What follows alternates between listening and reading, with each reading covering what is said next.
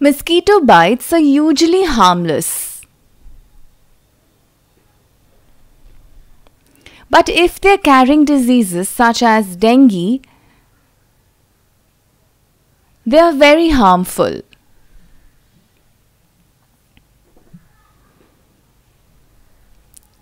However, mosquitoes always leave itchy red bumps. These bumps usually stay for a few hours and then disappear. But if you want some quick relief from the irritation,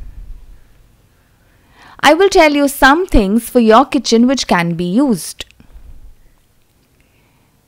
The most common remedy to soothe bumps caused by mosquito bites is ice.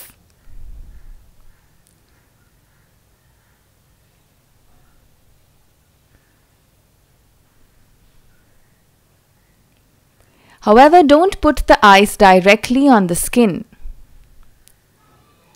Wrap it in a cloth or towel and then put it on the area till you get relief.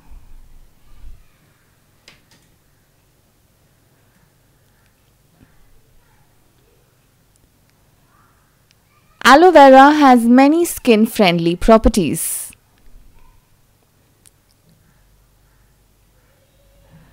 A tiny bit of aloe vera will reduce itching and promote faster healing.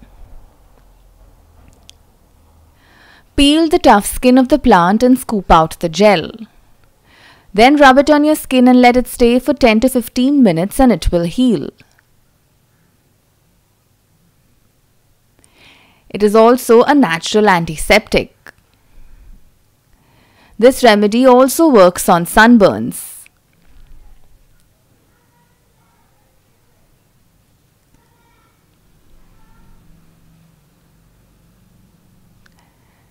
Honey has been part of many home remedies and can be used to soothe sore throat. It also has antibacterial and anti-inflammatory properties. Apply a small drop on the affected area. This will relieve the inflammation and also reduce the temptation to itch.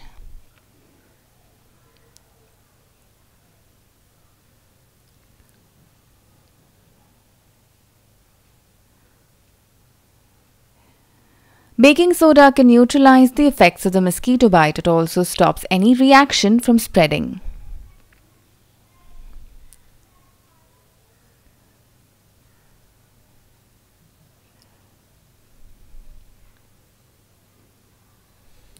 Mix some baking soda with water and put it on your mosquito bite.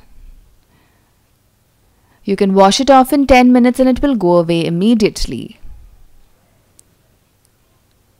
These remedies are effective and useful. Do try it.